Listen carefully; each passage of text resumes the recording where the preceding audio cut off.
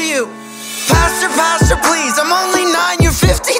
And I thought you didn't believe that gays could be Christian Jew. Listen, listen, listen, I swear this won't take long. If you think this is right, then I'm fine with being wrong.